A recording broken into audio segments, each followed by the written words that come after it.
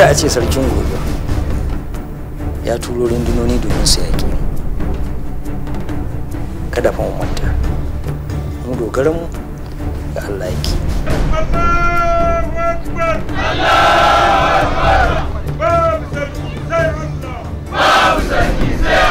Shehu bai koyar da mu zalunci ba. Duk da wannan wahaloli da muke ta gamo da kulli da yawan nauyin iyali shehu na hadafi na asali. Bai fasa abin da shi yake ba.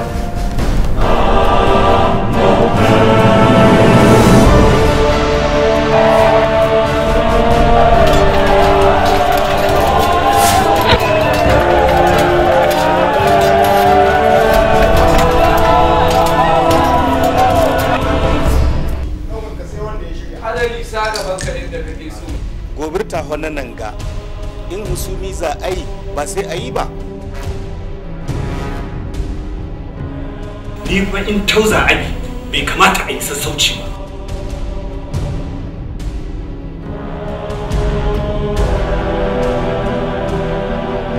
Sarki dan sarki jikan sarki.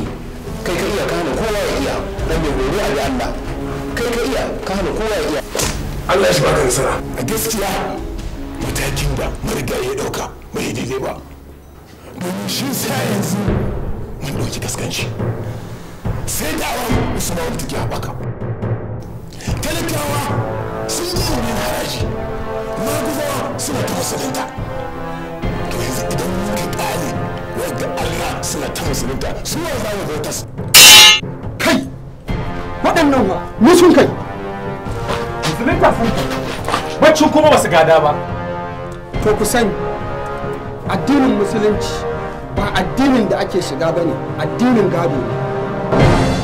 Yanzu kuna da dama ɗaya tag da ta rage muku shine ku hita na ɗauka fulani za su kama arkalawa da sau domin mu samu ganima Barka shi daɗe. Ya amsa. Wancan karo, azbinawa su sun kai dalili mun ka kasa cin gwandu. Saboda sun ƙi biya ga shawarata. a kai ki sarkin yaƙi Barka shi daɗe wanda karo. In muka turhade su, sai mun kora sun hau gwandu. Mu kamo su guda guda mu yanka. Mu ɗauko wannan da hilla ce mu zo da shi gaba gari ka. Ranka shi daɗe. gaskiya ne mai faɗa da aljanu da mala'iku wane dan mutum ƙarya suke amma ya kamata mu jira su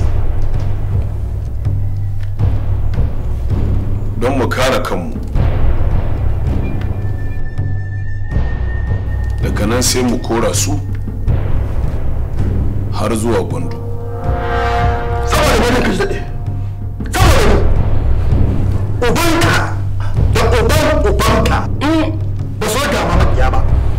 gaskiya ne wannan. Mu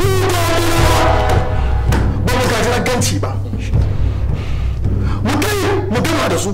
Tun da yanzu sun kai to dajin gundumi. Mu ko san dajin gundumi ba ruwa ciki ne bare abinci. Babu fa gaskiya. Mu kai mu ida su tun kamun su huta. Ya min fushi da fushin sarki. Wai kashi daɗe na sha kuma sai wani musu wadda ba a kula musu ba.